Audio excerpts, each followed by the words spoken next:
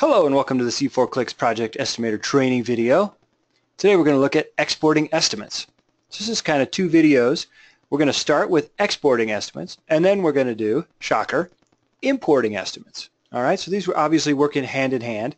We're going to go through exporting first because that happens first and then we're going to go through importing. Alright, so in this video we're going to see how to select the different estimates that we would like to export we're going to go through exporting itself, and then we're going to look at the exporting completed window.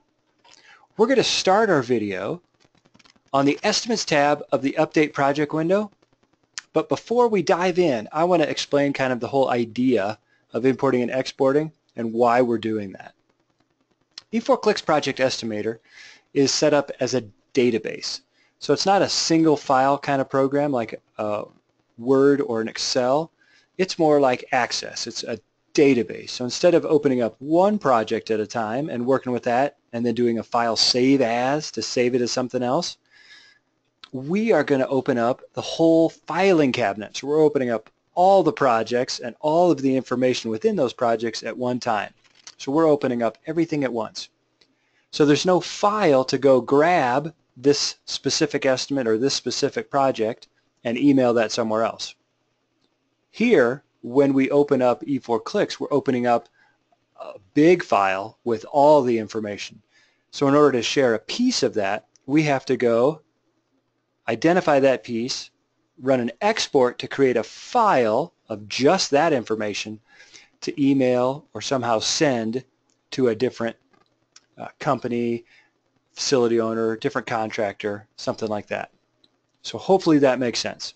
So we're going to take a little piece of the big database and create a file that has just that information for sharing.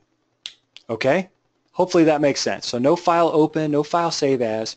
We're going to use the import-export process on specific estimates or projects. We are going to focus on estimates because we kind of want you to set up your own project. We want you to own the project.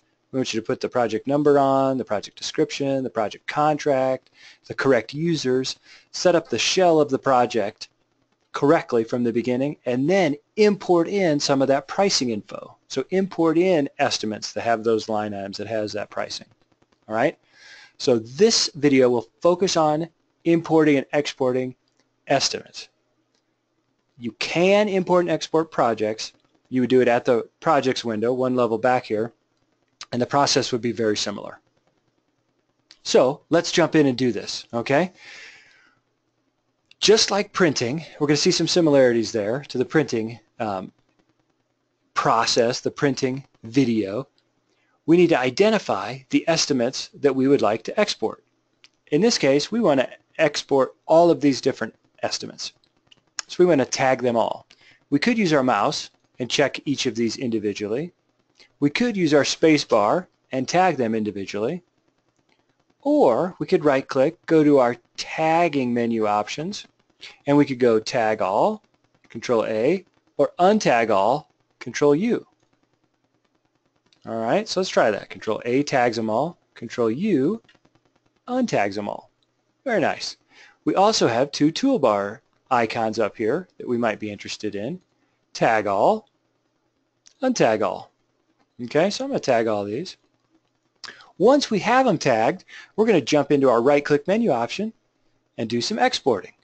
So if we right-click, we can see an import-export menu here, and that cascades down with two options. One is import and one is export. Shocker, huh? Now, if we take a quick peek at the name, we're going to see that inherently we're backing up this information. So we could create a backup of these estimates and then at any time, we could restore them through an import process. So not only can this be used to share from our database to another database, from a contractor to a contractor, facility owner to a facility owner, a contractor to a facility owner, we could always also use this to store some of our information, maybe on a different hard drive or computer location, and then import it back in, restore it at any time. All right, so we're going to go ahead and choose export in this case and this is going to open up the export estimates window. Let me show you one more way we could get there. So I'm going to cancel out of here. The other way we could do is toolbar icons. I like to try to show these. So we have two.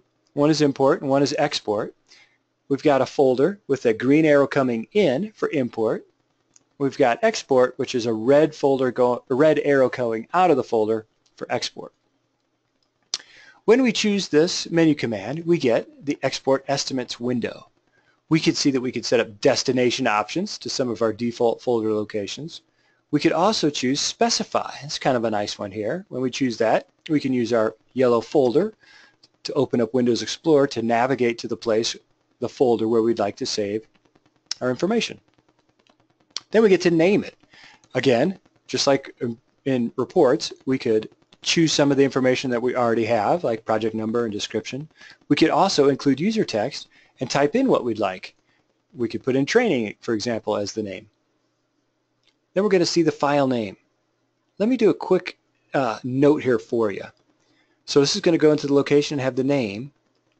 In this video, the file name is going to end with a .emc. That's because I'm in the training software. Back at your office, you're going to see .e4c for E4 clicks. So just to note the difference there, but it's basically the exact same process. We could put a password on this export file if we'd like to. It's optional, we don't have to. We could also exclude some sensitive information maybe.